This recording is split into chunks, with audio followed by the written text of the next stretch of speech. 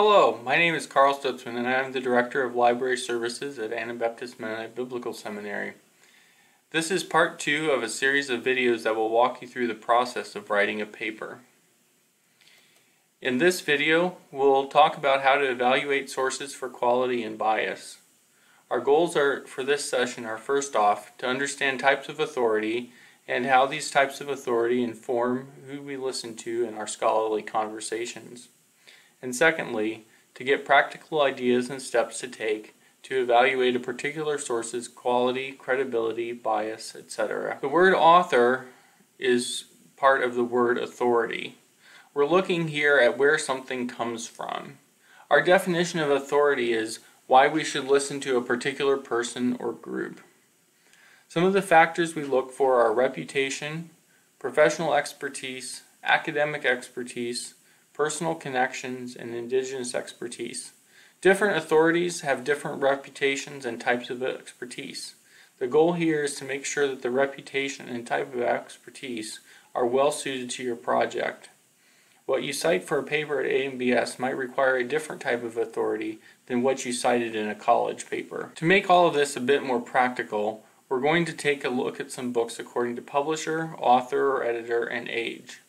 When we're looking at publishers of books, we can get some helpful clues by knowing where some publishers of theological works fit on an ideological spectrum.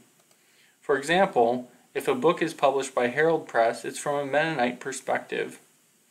If it's from InterVarsity Press, Eerdmans, Baker, or Zondervan, it's evangelical. If there are more publishers we can list here, but a quick tip you can use if you're not familiar with the publisher is to Google them. This may show you some of their other publications and give you an idea of the publisher's perspective. If you have doubts or questions, you should check with a professor or a librarian. When we look at the author or editor, we want to know things like where do they work? What are their credentials? How do current scholars regard this author?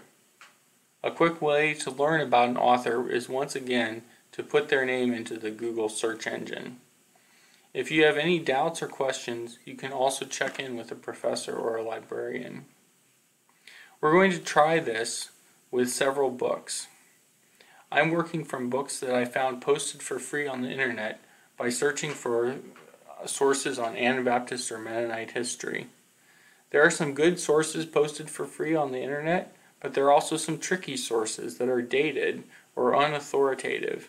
It's helpful if you can find clues to tell you whether a source is trustworthy. I have included some screenshots from the title pages of these books. First off, we have a book called Scripture Baptism Defended and Anabaptist Notions Proved to be Anti-Scriptural Novelties. Obviously, that doesn't sound very good to our ears. Should we believe the author of this book that Anabaptist concepts of baptism are against the Bible? We can tell from the book itself that it was published in 1865 by the Methodist Book Room in Philadelphia, so that's certainly a very dated source. When we Google the author's name, though, John Levington, we don't come up with much, besides some old Methodist sources, including proceedings of the Methodist Episcopal Church, in which Levington was under review for some apparently controversial actions. So we might not want to afford uh, Levington's book much authority on the matter of of scripture baptism. You probably would not want to use this source at all in an Anabaptist history paper. Here we have another book. This book, History and Renewal in the Anabaptist Mennonite Tradition, was written by Abraham Friesen and published by Bethel College in North Newton, Kansas in 1994. This makes it a more recent source than the last one we saw. Since Bethel College is a Mennonite school, it comes from a Mennonite perspective. Googling Abraham Friesen's name we learned that he was a university professor in California. This seems like a pretty reputable source, the sort you could use in a paper at AMBS.